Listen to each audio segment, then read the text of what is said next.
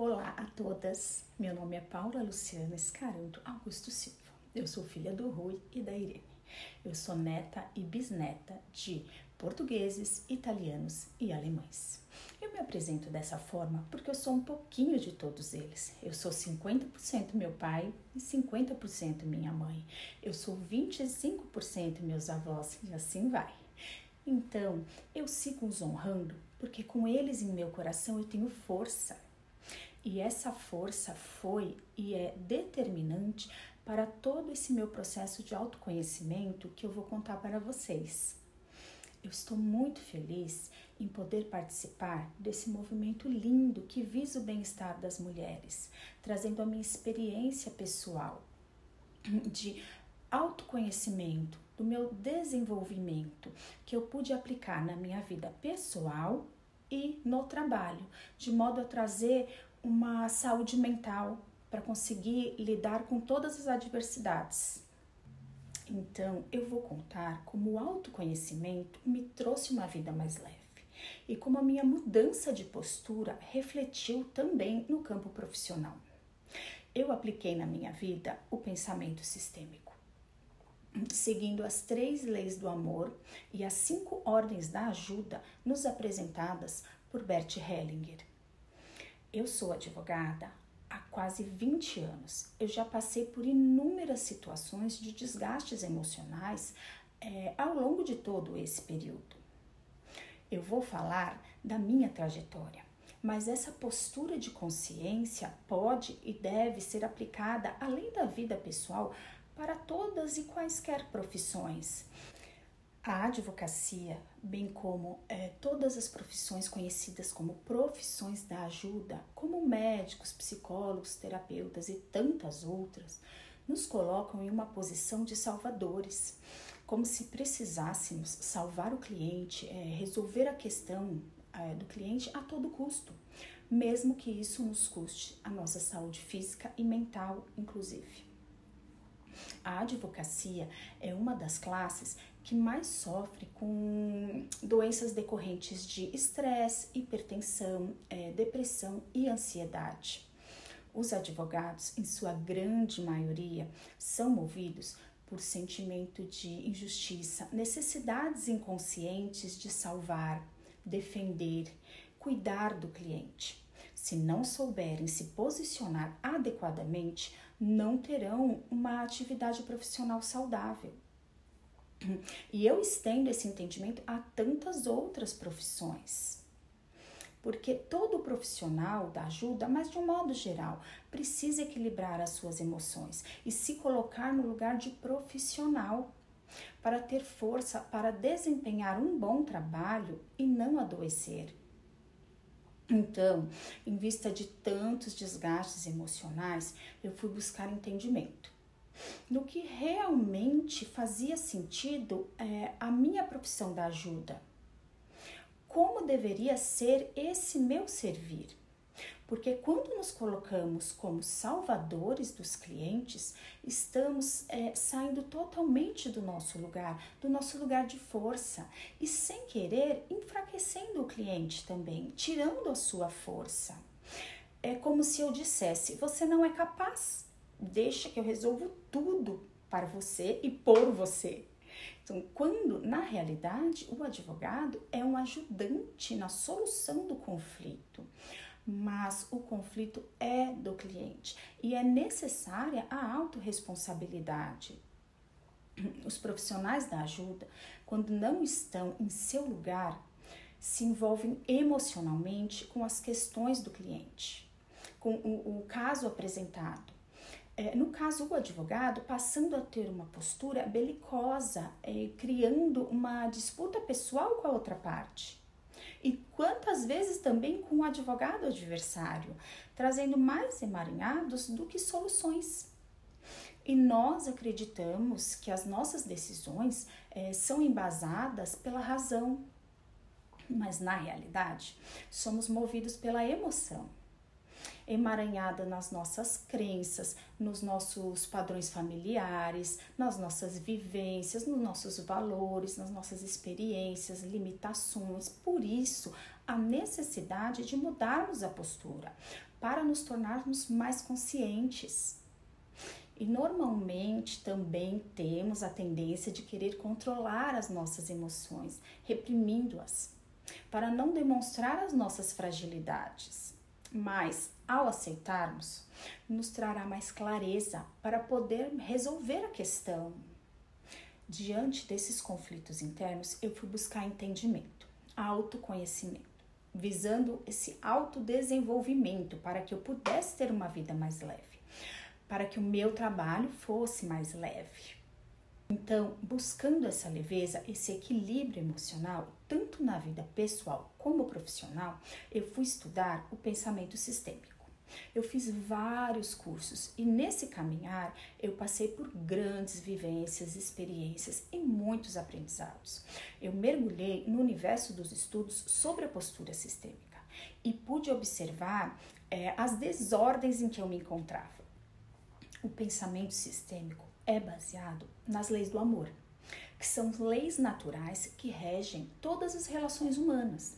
Essas leis foram observadas pelo alemão Bert Hellinger, que foi um estudioso de várias terapias. E ele percebeu no decorrer da sua jornada de estudos que existem é, três leis universais que regem as dinâmicas familiares. Com isso, também nos apresentou as constelações familiares. É uma técnica que objetiva solucionar conflitos que permeiam as gerações. Mas aqui eu só tratarei do pensamento sistêmico, da minha mudança de olhar, da minha mudança de postura, do meu autoconhecimento. As constelações ficam para uma próxima oportunidade. Bert também nos trouxe as cinco ordens da ajuda, que falarei mais para frente que nos ajuda a delinear a postura profissional. Para falar das três leis do amor, eu vou explicar antes, de modo que fique mais claro, o que é um sistema familiar. É toda a nossa família, é o nosso grupo familiar, é a nossa ancestralidade. E as três leis do amor são pertencimento, hierarquia e o equilíbrio entre dar e receber. Eu farei uma breve explicação de cada uma delas, começando pelo pertencimento onde há o entendimento que todas as pessoas pertencem a um sistema, seja ele familiar, organizacional ou social. Todas as pessoas de uma família pertencem a um sistema familiar. É o igual direito de todos os membros do clã pertencerem, mesmo os que não puderam nascer. Esses precisam ser lembrados e incluídos no nosso coração. Uma das causas de desordem é a exclusão de alguém do sistema o que gera consequências para os demais membros daquele sistema. Um exemplo de exclusão são dos filhos que não nasceram, das gestações interrompidas, ou natimortos, ou os entregues à adoção. Enfim, quando excluímos alguém, sofremos a consequência, ou algum descendente sofrerá com o mesmo comportamento ou a mesma dor para honrar. Quanto à hierarquia, ela é a ordem do sistema é a importância em respeitar a ordem de chegada de cada pessoa naquele sistema. Os nossos antepassados, eles têm precedência sobre nós. Os pais vieram antes dos filhos, e estes serão grandes perante os filhos, e os filhos sempre serão pequenos perante os pais. Uma das causas de desordem que traz sérias consequências é não honrar esta ordem, não honrar os pais, os avós, um exemplo de desordem é um filho querer ordenar o que os pais devem fazer, tratando-os como filhos ou os julgando. Uma outra situação são irmãos cuidando de irmãos como se fossem pais. Estão totalmente fora do lugar, se colocando como maior que o irmão. Uma outra situação é criança decidindo questões dos adultos, tirando a responsabilidade e poder dos pais. Um outro exemplo também é colocar um filho no lugar de primeiro, quando na realidade existe um filho antes que não pôde nascer, devendo o filho que pôde nascer ser colocado no lugar de segundo filho. Então, a hierarquia funciona dessa forma, mas também precisamos nos atentar à questão da precedência e prioridade. A família de origem, ela tem precedência, mas a família atual, a que nós constituímos, ela tem preferência agora, tem prioridade. Precisamos cuidar dessa família. Se enxergarmos a hierarquia na esfera profissional, falando da relação cliente e profissional. Então, profissionalmente, é preciso ter humildade para entender que o profissional da ajuda chegou depois naquela situação, naquele conflito. Então, as partes é que protagonizam a história. Com relação ao equilíbrio, trata-se do equilíbrio entre dar e receber. Precisa haver uma sintonia entre o dar e o receber para haver saúde, paz e harmonia. Se um lado dá demais e o outro só recebe, se estabelece um desequilíbrio nessa relação, gerando muitos conflitos. Há a necessidade de reciprocidade. Da mesma forma, na relação entre profissional e cliente, sempre tem que haver a contraprestação do serviço, que no caso é o pagamento dos honorários. Em uma aula, eu vi um exemplo bem simples, mas que ilustra de forma clara o desequilíbrio nas relações. Imaginem uma mulher que acabou de se mudar para uma casa nova e a vizinha, muito gentil, levou um bolo de boas-vindas. Passados poucos dias antes que a vizinha nova pudesse ter tido a oportunidade de devolver o prato do bolo, a vizinha novamente bate à sua porta, entregando um outro bolo a vizinha nova já fica envergonhada, porque agora ela se sente na obrigação de, além de devolver dois pratos de bolo, também retribuir de alguma forma a gentileza. Passado mais alguns dias, sem que novamente desse tempo de qualquer tipo de retribuição, a vizinha bate a sua porta novamente e leva mais um bolo. Agora, a vizinha nova já se sente muito envergonhada e não quer mais abrir a porta. Então, é isso que acontece quando uma parte dá demais. Existem exceções no caso do equilíbrio entre dar e receber. Por exemplo, nas relações entre pais e filhos. Nós recebemos o maior presente dos pais, que é a nossa vida. Nós nunca vamos conseguir retribuir. Então, nessa relação, não tem como haver um equilíbrio. Também não há equilíbrio na relação com os nossos professores. Eles também nos deram demais. As desordens em nosso sistema podem trazer consequências em todas as áreas da nossa vida, seja na saúde, trabalho, relacionamentos, na parte financeira, porque são essas três leis do amor que regem as relações pessoais. Ao identificarmos essas desordens e buscando a ordem, as relações tendem a se restabelecer, trazendo paz. E no campo profissional, muito importante ressaltar as ordens da ajuda trazidas por Bert Hellinger, que nos norteiam para mantermos um nosso lugar de profissional, o nosso lugar de força, para podermos desempenharmos um bom trabalho e sem adoecer, Através desse estudo, eu passei a entender com mais clareza que todas as pessoas com quem nos relacionamos vêm de um sistema familiar. Assim como os clientes, quando nos procuram, quando procuram um profissional, chegam com toda a sua ancestralidade, o seu campo invisível de pessoas da família, trazendo todas as suas crenças, suas memórias, personalidades, dores, fraqueza, enfim, tudo que influencia aquela família e aquela questão apresentada. Ao enxergar, termos consciência dessas desordens, buscando a ordem, voltando ao nosso lugar, já conseguimos nos alinhar bem. Esse olhar ampliado me trouxe consciência de várias questões, de várias dinâmicas ocultas e principalmente como me posicionar no campo pessoal e profissional eu acredito que tenha ficado claro a explicação das três leis do amor. Então, eu falarei agora das cinco ordens da ajuda, que nos norteiam para um caminhar profissional mais saudável. A primeira ordem é dar apenas o que se tem e somente esperar e tomar o que se necessita. Através dessa ordem, enxergamos que devemos agir profissionalmente, cumprindo o que foi contratado nem mais e nem menos, sem a intenção de salvar o cliente. Tem que haver um tratamento humanizado, uma empatia, mas a empatia saudável, sem sofrer junto com o cliente. Senão, eu não consigo ajudar. Não pode haver uma identificação inconsciente com a questão, com o caso apresentado. Muitas vezes observamos essas dinâmicas de desordem quando o advogado não se posiciona. Ele permite que o cliente exija demasiadamente, muito além do contratado e que de fato ele precisa e necessita. E o advogado que está fora do seu lugar de profissional, ele perde a força, ele pede a força da ajuda. A segunda ordem da ajuda é nos submetermos às circunstâncias e somente interferir e apoiar na medida que elas o permitirem. Não temos o direito de impor o que é melhor para o outro. É necessário respeito pela pessoa e pela sua história.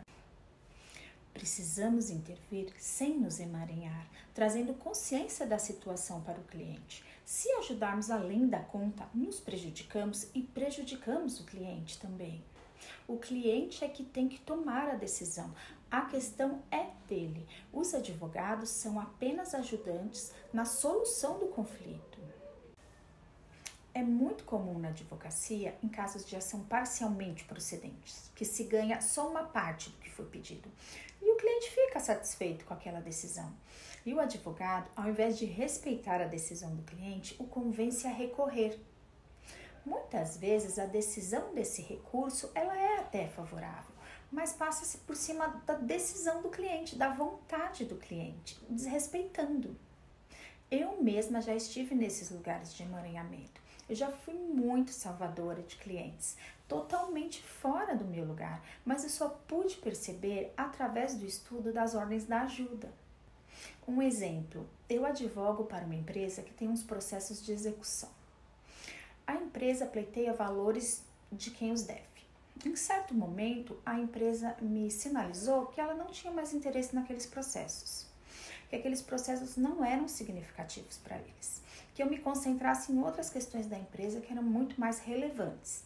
E eu fiquei indignada, eu precisava receber aqueles valores para a empresa. Eu tomei as dores da empresa que foi lesada, mesmo os donos do processo que no caso era a empresa, sinalizando que não havia mais interesse, eu queria, como salvadora, como advogada superpoderosa, resolver a questão a todo custo. Então, mais uma situação em que eu estava totalmente fora do meu lugar. A terceira ordem é: o ajudante tem que se colocar como adulto perante um adulto que pede ajuda. Só consegue ajudar estando no seu lugar de adulto não se tornar pai e mãe do cliente, o eximindo das suas responsabilidades. Não se pode tomar as dores dos clientes, como eu havia feito no exemplo anterior. Tampouco assumir a responsabilidade da questão pelo cliente. Preciso estar no meu lugar de adulto para ajudar a resolver a questão e não atrapalhar o bom andamento. Achamos que estamos ajudando, mas estamos potencializando essa postura inconsciente do cliente. Um exemplo que eu me colocava como paz do cliente, trazendo toda a responsabilidade para mim, totalmente salvadora, ocorreu em um processo em que a empresa corria um risco de condenação se eventualmente houvesse uma perícia. Antes que houvesse uma determinação nesse sentido, eu me esforcei para fazer um acordo. Enfim, as partes estavam satisfeitas com o acordo e o meu cliente não retornava a minuta assinada. Eu tensa em razão do prazo. Enfim, eu trouxe toda a responsabilidade e estresse para mim. Quando na realidade ele já tinha todas as informações jurídicas e sabia de todos os riscos. Se ele não enviasse a minuta a tempo, a responsabilidade era toda dele. A quarta ordem é a empatia do ajudante deve ser menos pessoal, mas sobretudo sistêmica. É reconhecer que cada um tem o seu sistema. É empatia profissional, focada no sistema familiar. A quinta ordem fala sobre amar cada um como é, por mais que seja diferente de mim, não julgar. Acolher a pessoa como ela é, respeitando as suas crenças e valores. Quando não nos atentamos às ordens da ajuda, acabamos nos emaranhando com as dores dos clientes, trazendo como consequências desgastes emocionais, doenças físicas e conflitos. A ajuda profissional ela precisa ser saudável, mantendo-se no campo profissional e buscando a solução da questão. Advogado advoga, não entra em disputa emocional. Com todo esse conhecimento, eu passei a mudar a minha postura pessoal e profissional. Passei também a aplicar o pensamento sistêmico com os clientes, ajudando a trazer consciência para a solução dos conflitos. Mas para isso, temos que ter olhado para nós mesmos primeiro. Portanto, o autoconhecimento é fundamental para lidarmos com as nossas emoções, com as pessoas e com o trabalho. Respeitar as ordens da ajuda traz força, fluidez e leveza ao trabalho. A ajuda ela precisa ser dissociada de emoções, trazer a técnica livre de julgamentos. Ficar com o cliente no julgamento, além de não trazer fluidez ao processo, faz com que o advogado fomente ainda mais o clima de animosidade. Por isso, o autoconhecimento é importante. É um processo de conscientização, de educação das emoções. Conhecer as leis sistêmicas possibilita ao profissional da ajuda atender o cliente com mais respeito e acolhimento. Contudo, o advogado deve trabalhar para a solução do conflito, mas o conflito é do cliente. O profissional salvador quer resolver tudo a todo custo, trazendo o problema para si, não deixando o cliente se autorresponsabilizar pela questão que é dele quer salvar o cliente a todo custo e acha que está ajudando, mas na realidade não está respeitando a sua história ou está se colocando como pais dele, dessa maneira tirando a sua força. Como eu já expliquei, por muitas vezes eu estive nesse lugar. Eu já fui muito salvadora de clientes e de amigos também. Nesse lugar, eu achava que estava sendo boa, que eu estava fazendo certo, que eu estava ajudando, quando na realidade eu também perdi a minha força. Precisamos achar o equilíbrio de modo a manter relacionamentos saudáveis. As ordens da ajuda se complementam para a realização de um trabalho de expertise e preservação da saúde física e mental do profissional. Bom, eu falei sobre a minha mudança de postura pessoal e profissional. Em outra oportunidade, eu posso falar a respeito da aplicação do pensamento sistêmico com os clientes na solução dos conflitos trazidos pelos clientes. É uma abordagem muito linda trazida para o direito pelo juiz Sam Storch e tem tido resultados muito produtivos e eficazes. Concluindo, eu dei ênfase à advocacia porque é o meu dia a dia, mas como eu falei no início, essa conscientização serve para todas as profissões. E ao nos atentarmos às leis do amor, que é o pertencimento, a hierarquia e o equilíbrio entre dar e receber, bem como nos nortearmos pelas cinco ordens da ajuda, a vida e o trabalho ganham mais leveza e fluidez. Mesmo que tenha sido uma breve explanação do que se trata o pensamento sistêmico, eu espero que a minha experiência inspire as pessoas a buscar entendimentos e a viver melhor, trazendo harmonia e leveza para a vida e para a profissão. Sigamos buscando consciência, aprendendo e evoluindo. Gratidão.